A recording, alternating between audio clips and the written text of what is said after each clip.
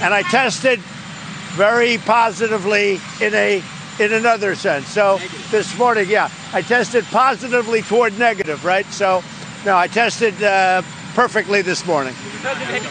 Meaning, meaning I tested negative. And you know, when you say per capita, there's many per capitas. It's like per capita relative to what? But you can look at just about any category, and we're really at the top, meaning positive on a per capita basis. We are bringing our country back, and a big focus is exactly that with the uh, minorities. Uh, specifically, uh, if you look at uh, the Asians, we hit the body with a tremendous, uh, whether it's ultraviolet or just very powerful light. And I think you said that hasn't been checked, but you're going to test it. And then I said, supposing you brought the light inside the body, you can, which you can do either through the skin or uh, in some other way. And I think you said you're going to test that too. Sounds interesting. Right, folks who could. Right, and then I see the disinfectant where it knocks it out in a minute, one minute.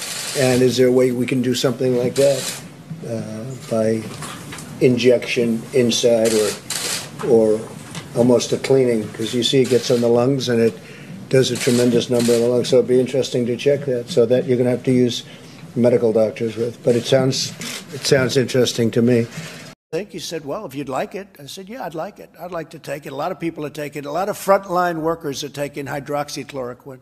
A lot of front. I don't take it because, hey, people said, "Oh, maybe he owns the company." No, I don't know the company. You know what? I want the people of this nation to feel good. I don't want them being sick.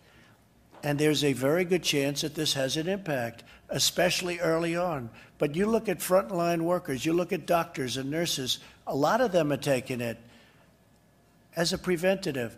And they're taking totally unrelated, but they take the Z-Pak or the zithromycin for possible infection. Now, I haven't taken that other than an original dose because the, all you need, you don't have to take it simultaneously. But the zinc you do take. So I'm taking the two, the zinc and the hydroxy. And all I can tell you is so far I seem to be okay. Don't forget, we have more cases than anybody in the world. But why? Because we do more testing. When you test, you have a case. When you test, you find something is wrong with people. If we didn't do any testing, we would have very few cases. They don't want to write that. It's common sense. So we test much more, many, many times. South Korea, you hear about?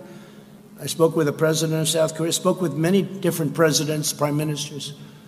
Uh, they can't believe what we've been able to do on testing. They can't believe what we've been able to do on ventilators. We're sending them ventilators. Other countries, Italy, Spain, uh, other countries, France is having tremendous problems, tremendous problems. We're helping them with ventilators and it's been uh, very spectacular. It's been really spectacular. So, yeah, I think uh, I don't think anybody's done a better job with testing, with ventilators, with all of the things that we've done, and our our uh, death totals, our numbers per million people are really uh, very, very strong. Uh, we're, we're very proud of the job we've done. Yeah, well, I don't know much about it. Does anybody want to talk about it? It's she's a wonderful young woman.